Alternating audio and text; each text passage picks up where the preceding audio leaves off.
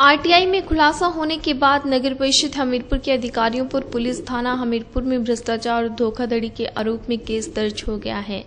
हमीरपुर न्यायालय के आदेश पर पुलिस ने भ्रष्टाचार उन्मूलन अधिनियम तेरह दो विभिन्न धाराओं 420, 467, 120 बी और 34 के तहत केस दर्ज किया है। नगर परिषद हमीरपुर के खिलाफ पुलिस ने यह तीसरा मामला है। इससे पहले जिला प्रशासन हमीरपुर ने दो मुकदमे दर्ज करवाए हैं। लगातार धोखाधड़ी के आरोप में तीन मुकदमे दर्ज होने के बाद नगर परिषद हमीरपुर के अधिकारी व पूर्व अधिकारियों की मुश्किलें बढ़ गई हैं।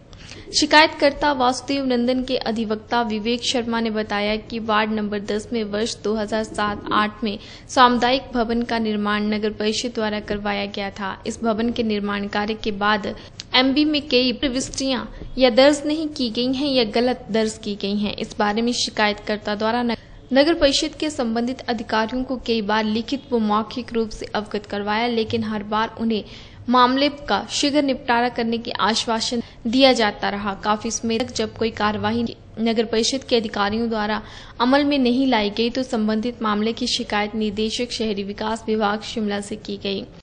नगर परिषद में जो एफआईआर हुई है, ये 2008 में एक सामुदायिक भवन बना था। वार्ड नंबर 10 में हमीरपुर में।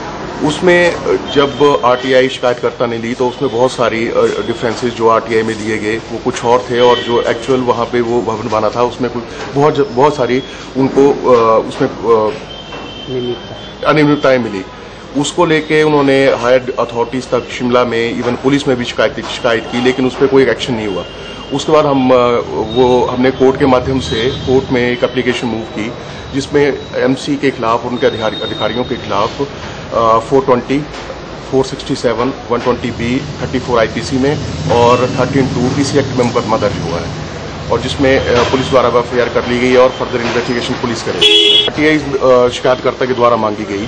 उसमें मुख्य दो आरटीआईज थी। एक आरटीआईज में उनको बताया गया कि ये जो सामुदायिक भवन बना है, उसमें वाइट वॉश वगैरह का या जो भी विंडोज़ वगैरह को वाइट वॉश या पूरी बिल्डिंग को वाइट वॉश होना था, उसकी भी पेमेंट जो है वो नहीं की गई है। लेकिन दूसरी आरटीआई में ये बताया गया कि उसमें अठावन हज़ार अराउंड वो फिफ्टी नाइन थाउज़ेंड रुपीज़ जो है वो पेमेंट की गई है। इसके अलावा और भी बहुत सारी, इसमें जो उन्होंने आर ली थी, उसमें बहुत सारी अनियमितताएँ थी। तो उसी के आधार पर माननीय न्यायालय सीजम कोर्ट ने उनके खिलाफ एफआईआर के आदेश दिए हैं। उधर अतिरिक्त पुलिस अधीक्षक हमीरपुर बलवीर सिंह का कहना है कि न्यायालय के आदेश पर नगर परिषद हमीरपुर के अधिकारियों व पूर्व में रहे अधिकारियों के खिलाफ धोखाधड़ी व भ्रष्टाचार के खिलाफ मामला दर्ज हुआ है। आपको बता दें कि निदेशक द्वारा संबंधित मामले की रिपोर्ट तलब किए जाने पर नगर परिषद के कार्यकारी अधिकारी द्वारा गलत रिपोर्ट दी जा रही थी, जिसके चलते मामले का निपटारा न हो सका।